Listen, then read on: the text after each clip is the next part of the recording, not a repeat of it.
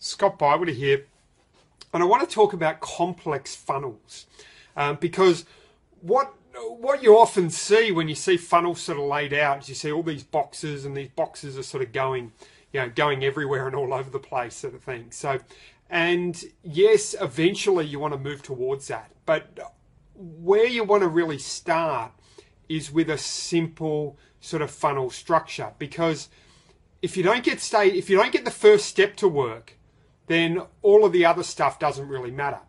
And I really like the lean startup sort of methodology. And if you haven't read the book, it's highly worth reading.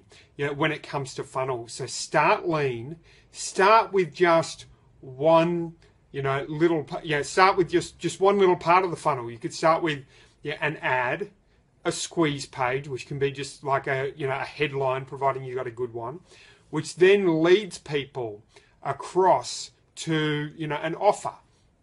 You make, might make an offer for a um, for a low low low price sort of product. Um, so so then because then what you can do is if you can get that stage to work, think of each stage of a of a funnel as a piece of Lego. So you get stage one to work, well then you can add another piece of Lego stage two, and then another piece of Lego stage three, and you just keep adding these little pieces of Lego to add to your funnel, you know, your funnel matrix if you like. And uh, yeah, so that so that so that's all for today. Keep it simple to start with, and then add little pieces of Lego as you go along. To help you get more customers, I'm giving away a free gift to everyone who watches this video.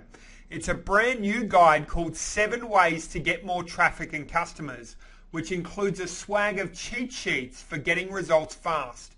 Download it for free by clicking the link in the description below this video or visiting moretrafficandcustomers.com.